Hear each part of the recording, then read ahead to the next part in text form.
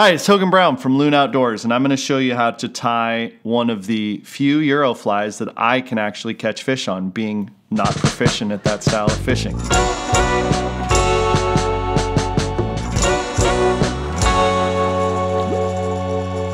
Uh, probably a late adapter to uh, what we would call the Euro nymphing, but um, one thing I can do is I can come up with flies that are maybe a little bit different than the other people out there I'm fishing with.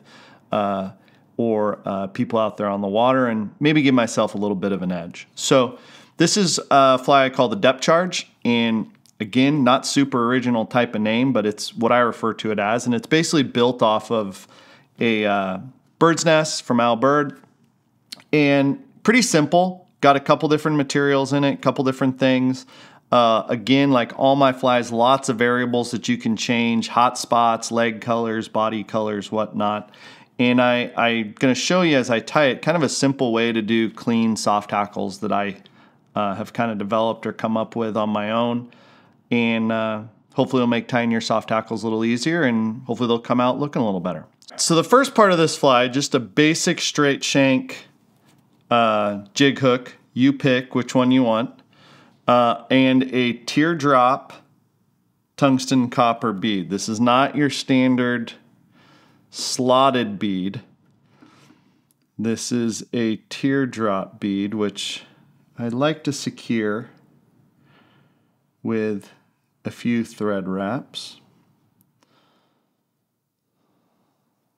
and kind of a little bit of a few circular wraps just to secure it in.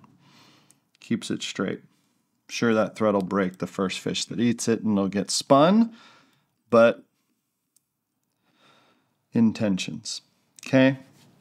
Then I work that thread back, give it a pretty simple tail. One of my favorite tailing materials is just wood duck gold mallard flank. Okay. Take a small feather, find kind of the nicest tips, set it right on top poke it out. And one thing I do with this is I will tie that entire stem to the hook shank. It's going to help kind of create a taper, I think, and just doesn't create a big lump right there that you got to make up for in dubbing when you're trying to taper that fly.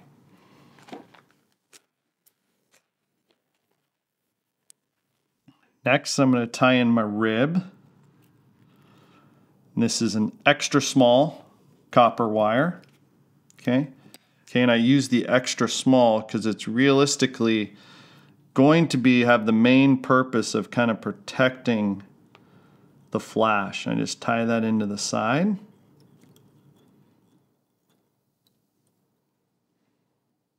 Set that over. Then I'm going to take one strand of just standard pearl crystal flash. Going to tie that into the hook shank.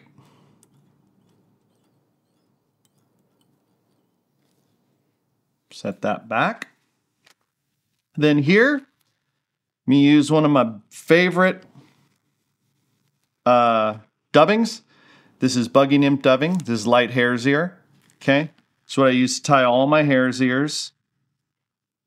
Kind of the natural Okay, and it's stiff. Used to be called Paxton's Buggy Nymph if you've uh, been doing this a while. This is one of those where less is more. Apply an equal amount onto the thread. Okay, it's an Antron based dubbing, so good for a lot of different uses. Just kind of palmer that up. Creating a taper, you know, kind of a hare's ear, bird's nest type of taper.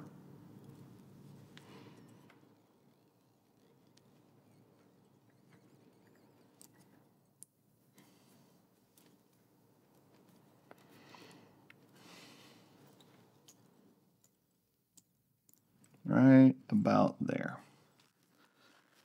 Now I'm going to take that crystal flash palmer it around.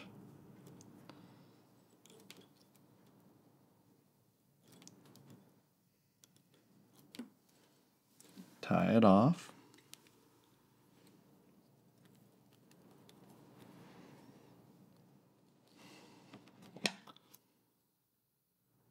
Set that piece aside.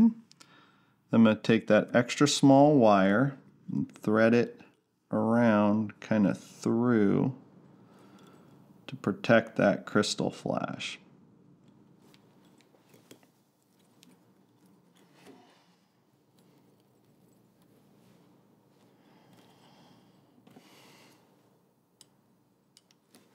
Trim the wire. Then I'm going to give it a little hot spot. And uh, for this fly, I use the Ice Dub Gold Brown, okay, from Hareline. It's kind of a good complementary color to this uh,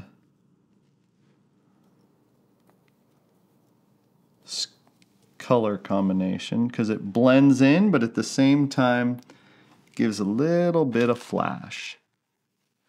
You can always take, if you want, even throw a few loose fibers in there. Give it a little bit more color if you want. And pin those back like that. Give it a little bit bigger. You can also pick them out if you don't like it. That's the beauty of any of this. Make it your own. Okay. Then what I'm going to do take a India henback. This is natural, so it's kind of a brown color. Okay. Take the feather, just a standard soft hackle. Okay.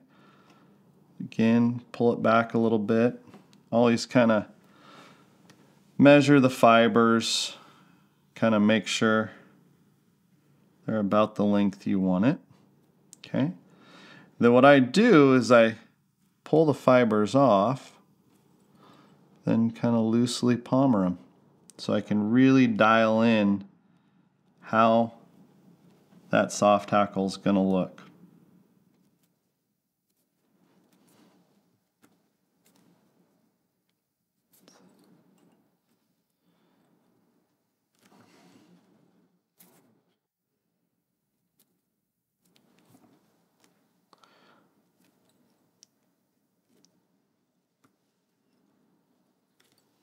Okay.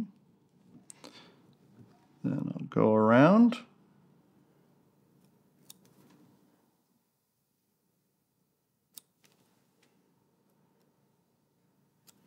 One thing I started doing this type of soft hackle because I would palmer it and with my best effort pick the right feather and it would not look, it'd be too long, too short, and I just wouldn't be happy with the fly. So this way, by picking the fibers off and kind of setting them in there, I can kind of get the, the right look to what I want. Then you set aside earlier that little strand of crystal flash. I'm going to take that, cut it in half, then give this fly two little crystal flash lags coming out the side. And this is obviously could be somewhat eccentric if you want to think of it that way, but it also adds a little bit of flash, a little something extra to the fly.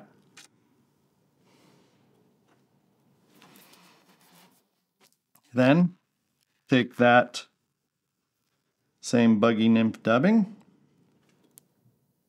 turn that, Give it a little bit of a turn on the head, pin those front two legs back, and tie that fly off.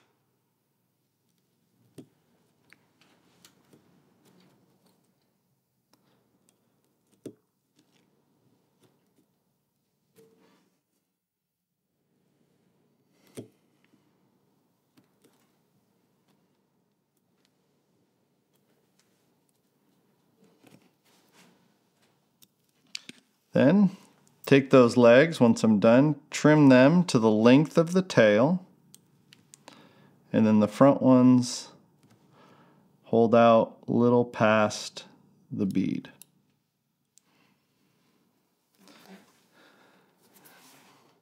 There you go. That's Hogan's depth charge nymph. Now it's a great fly. Even I, I am not what I would consider a proficient Euro nympher or a tightline nympher, and even I can catch fish on this fly. So tie up a few, mix and match the colors, change the hot spot out, maybe change the dubbing color, uh, leg color, whatever works for you and your fishery.